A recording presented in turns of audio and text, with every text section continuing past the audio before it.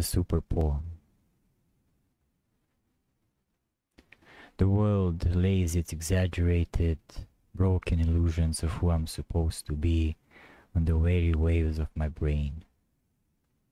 I find myself torn between my superfluous existence and the struggle of a mind craving tranquility. The world lifted the veil, and I can see the nightmare of what we subjectively define as reality being poured into glasses. We drink it to quench our thirst, polluting the magnanimous beauty of our holy souls.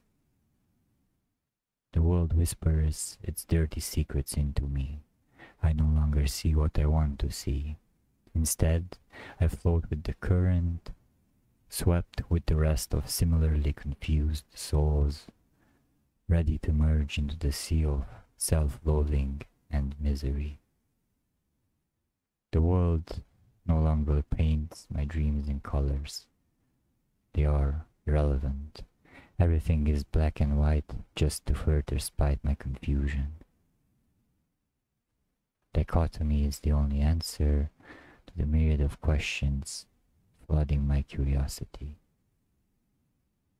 The world tells me I'm worthless, and I am. I accept your gentle embrace. I revel in my own meaninglessness, a nobody screaming to no one.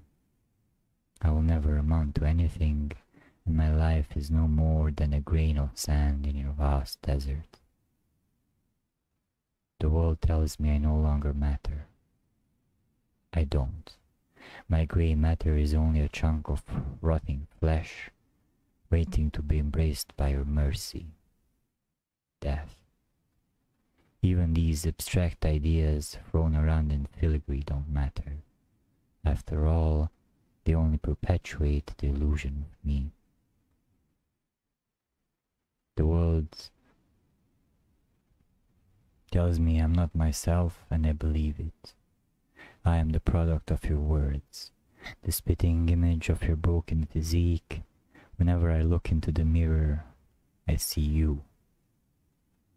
None of these thoughts are mine, they're all yours, beaten into me over a century, thousands of years of evolution, and here I stand, completing your image.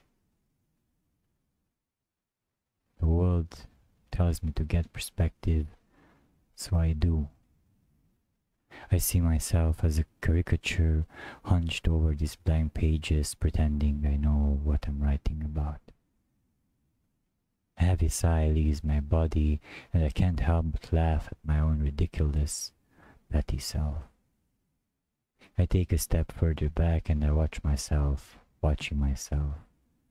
One idiot looking at the first one, laughing. I turn my head, and there is an infinity of myself, all of them cracking up.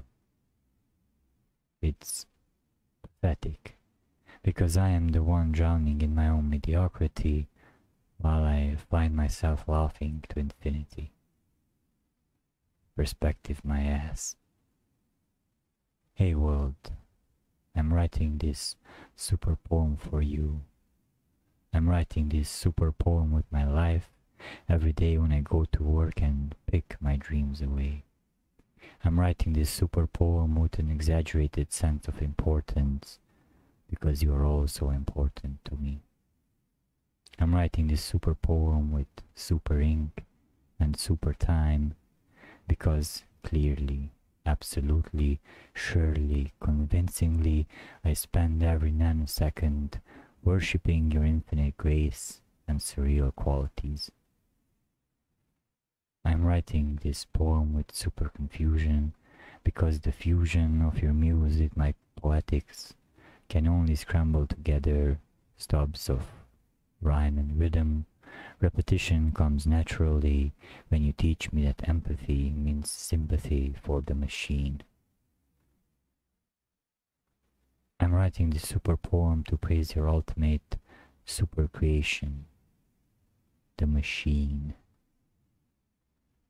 Machine, whose arms are molded to lovingly wrap themselves around me. The right arm, religion and school, strips me bare until I'm left, left servient, ready to praise the left one, politics and consumerism. Machine, whose eyes are never closed, gaze into the vastness of our beings and swallow the forests of our souls. We are always on the look for more, always vigilant and never ever satisfied. Machine whose arteries are the railroads, roads infested with locomotives, cars speeding towards their own meaningless end, blowing and honking their horns, for they can't see through the thick veil of oozing smog machine, whose veins are the internet, complex networks of web, trapping millions of disillusioned shards as they desperately try to define their own humanity. Machine, whose brain is capital, the almighty dollar, euro, pound, yen, ruble, all rushing towards banks to fuck, sweat, come, orgasm, birthing interest, famine, debt, and helplessness. Machine whose soul is war, greedily consuming lives to satisfy the eyes, arteries, veins, and the brain. It's all in vain when death becomes a statistician, tragedy is numbed by the number, and the never-ending slumber continues. Machine whose everything became my everything, I can only find myself at ease when I please with the entirety of my being. I'm writing this super poem under the influence of a beat generation because I find it resonates well with my vibrations. And I'm crawling, crawling, crawling towards your acceptance clawing, clawing, clawing through everything I am. Hey world, I'm writing this super poem because I'm tired, beaten, broken by the endless charades you create while I try to melt into the sun.